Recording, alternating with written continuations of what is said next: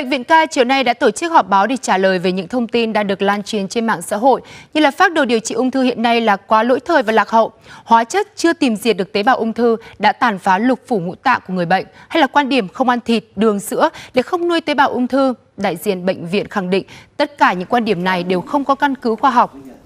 Các bác sĩ khẳng định hóa trị vẫn là một trong những phương pháp quan trọng trong điều trị ung thư. Bên cạnh đó, có thể điều trị khỏi một số loại ung thư. Hóa trị có thể ngăn chặn được sự tiến triển của ung thư, giúp cải thiện triệu chứng và kéo dài thời gian sống cho người bệnh.